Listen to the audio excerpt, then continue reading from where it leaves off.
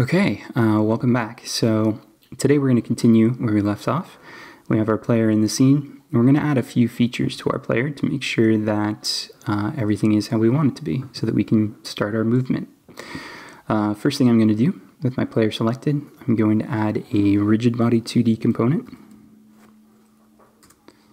Uh, and then one thing I want to make sure I do whenever I add a rigid body component, if I hit play, you'll see what I mean. So there we go. So by default, gravity always works on rigid bodies. So I'm going to set my gravity scale to zero. I'm also going to set my camera background to something other than that Unity blue. Nice gray would be good. All right, cool. Also on my player, I'm going to add a uh, box collider 2D. By default, this is going to be the same size as the sprite itself.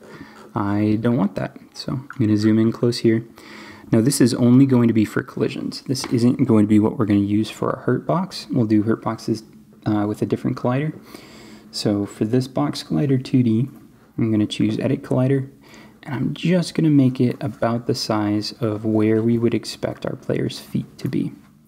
So I'm going to change this down to about where we want our player's feet to collide. Sorry about that. Uh, okay, cool. So that's where I want my collider to be. Um, and if I click on it, I can see where I would expect my player to interact with the environment. All right, so let's go to our scripts, and I'm going to make a new script. New, so right click in here, create, C sharp script. And before you click away from this, make sure you name it. I'm going to call this uh, player movement and let's open that up in Visual Studio. And I didn't have Visual Studio open, so it's going to take a second. I will meet you back here once that's done. Alright, so here we are in Visual Studio. I'm going to embiggen this a little bit here so that everybody can see what's going on. So first I want to create a variable for um, how fast the player is moving. I'm going to make this public so I can change it from the inspector. This is going to be a public float speed. The next thing I want to do is make a reference to my player's rigid body. So to do this, I'm going to make it private rigid body 2D, and I'm just going to call it my rigid body. I prefer long variable names that are nice and descriptive um, because I oftentimes will leave a project for a while before I come back to it, and if I come back to it and I use these teeny tiny variable names, I never know what I did. So, all right, I like to use nice long names. And so then in start, I'm going to complete the reference to the player's rigid body by saying my rigid body is equal to get component rigid body 2D. Um, all right, cool. Another thing I want to make a reference to is a vector 2, which is how much I want the player's position to change. So this is going to be uh, private as well. Vector 2, I'm going to call this change. All right, so in the update method, what I want to do is I want to reset change to zero. So change equals vector2.0, meaning every frame I want to reset how much the player has changed. Then I want to access uh, if the player is pushing any of the buttons, left, right, up, down, WASD. And if so, I want to um, add to that change and then I want to move the character by however much the change is, but I'm going to normalize it. So what normalize it means is normally if you would be pressing both say left and up, you would have your horizontal velocity and vertical velocity added, so you'd actually be going faster than you need to. We're going to fix that right away. Um, okay, so I want to talk a little bit about our input here.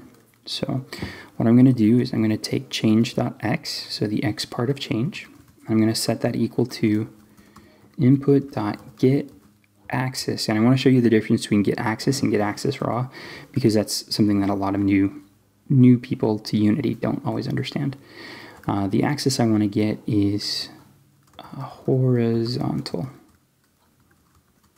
And the horizontal axis is defined by default in Unity. We don't have to define it. Uh, and then I'm going to do something similar to change.y. So change.y is equal to input dot get axis vertical. And then what I want to do here is I want to just uh, debug.log because I want to be able to see what's happening so that I can explain. And I want to debug.log change so that I can print that to the console. So I'm going to save the script really quickly. I'm going to go back into Unity, uh, choose the player as soon as this is done compiling. Choose the player, uh, and then I'm going to window shade a few of these and pull player movement onto it. Set my speed to 4. Now if I hit play, I'm going to pay attention down here to the console. And if I press left, you see how it kind of goes up. Now this is a digital press, meaning it should jump directly from 0 to 1, but it's not. It's going from 0 to some decimal value up to, or sorry, negative 1. If I press right, it's going up to positive 1, but it's not going there immediately. Now this can make um, 2D games like this feel kind of floaty because there's that acceleration between 0 and 1, even though there shouldn't be. If we're trying to emulate something that happened on the Nintendo or the Super Nintendo, it should be purely digital. It's either going or it's not. So, unless you're talking about Mario's jump, but that's something else. So uh, what I want to do instead of get axis is I want to change that to get axis raw. And get axis raw doesn't interpolate between the two values. Instead, it just goes directly to whatever that new value is. So if I save my script, pop back into Unity and hit play, now if I hit any of those buttons, you'll see the difference between get axis and get axis raw. It goes directly, and if you didn't know where to look, I'm looking down here it goes directly from 0 to negative 1, 0 to positive 1. So there's no acceleration or deceleration, which is what we want for it to feel a little more snappy. Uh, okay, cool. So back in our script here, I'm going to get rid of this debug statement. And then uh, what I want to do is I want to make a new method. And the reason I'm putting this in a new method and not the update is because I want to be able to move the character from other places. So if I don't want to just use the keyboard, say I want to use on-screen buttons, by having this as a separate method, it makes it easier to do that. So I'm going to call this void move character. And for move character, what I'm going to do is I'm going to call the um, player's rigid body, and I'm going to set it to move towards the position wherever we currently are plus the change. So to do that, we're going to say um, my rigid body dot move position.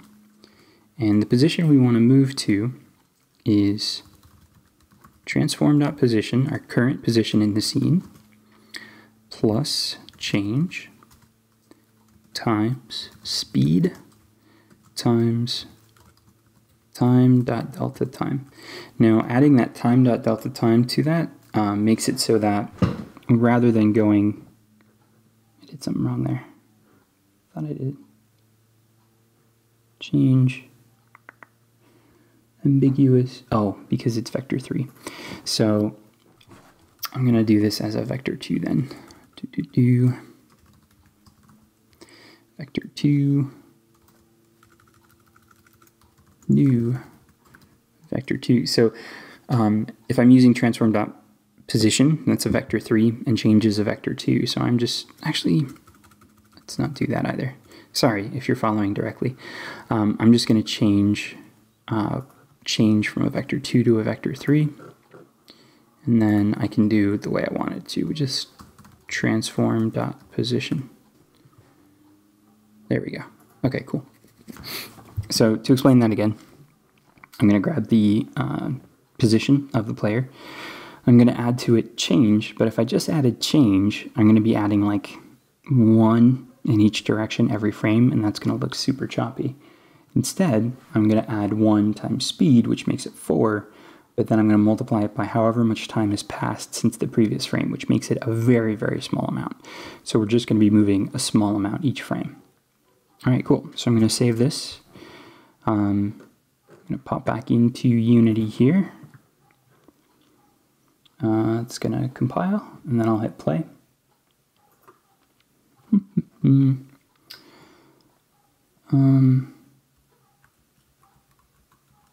Uh, okay, cool. That didn't work. Let's see what I did wrong. Oh, I never called move character. That's why. So uh, I'm going to say uh, if change is not equal to vector 2.0, meaning if there actually is a change happening, then I'm going to move character. So I needed to call that method. Um, oh, and change should be vector 3.0, and this should be vector 3.0 since I changed change to a vector 3. So I'm going to save this, uh, pop back into Unity.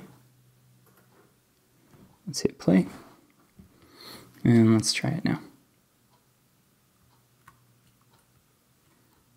So if you'll notice, the diagonal movement isn't faster than the left-right movement.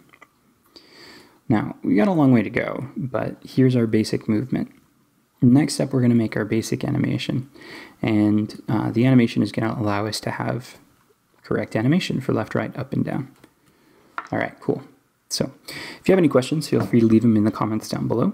Uh, otherwise, you can follow me on Twitter to find out when I post new videos. You can join my Discord server where I'm chatting pretty much every day. The links to all of the assets are in the description. And have yourself a wonderful day.